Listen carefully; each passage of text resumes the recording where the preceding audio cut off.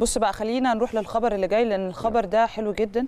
وبنتكلم هنا تحديدا عن فرق يعني قطاع الناشئين لكرة القدم طبعا من النادي الأهلي. اللي وصلت تفوقها ومش أي تفوق تفوق كامل على فريق الزمالك في جميع المراحل السنية المختلفة ببطولات الجمهورية.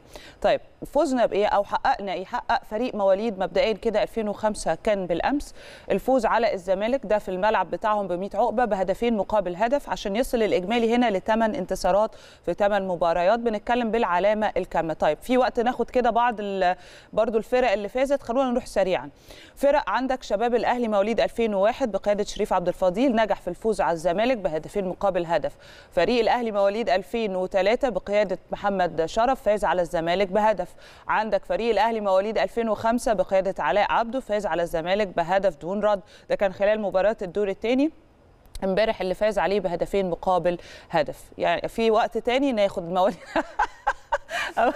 2006 فيها كريم بقيادة سيد غريب فاز على الزمالك بثنائية دون رد. طب ناخد كمان مواليد 2007 بقيادة أسامة زكي فاز على الزمالك بهدفين مقابل هدف. ده كان برضو في الدور الأول ونجح كمان في تكرار الفوز بنفس النتيجة خلال الدور الثاني عايز نكمل؟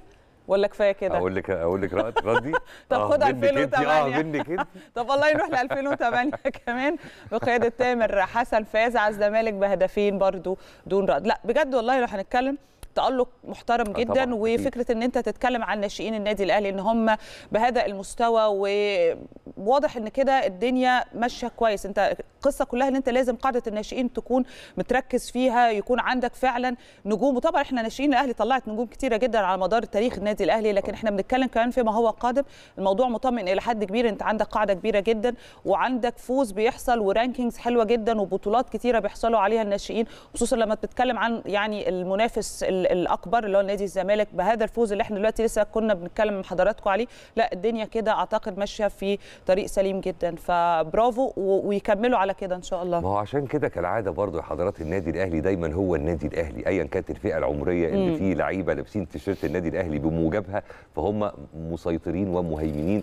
نهاوند استعرضت معانا وقعدت تفند أعمار مختلفة تقريبا دي تقريبا الفئة العمرية آه، يعني أو الفئات العمرية اللي بتشكل قوام الناشئين بالظبط. كمبدأ عام. فيعني فبسم الله ما شاء الله حاجة عظيمة جدا. إن شاء الله بإذن الله كمان يواصلوا التألق والنجاح وما يدخلوا بعد كده بقى في الفريق الأول يعملوا شغل أحلى وأحلى كمان بإذن الله.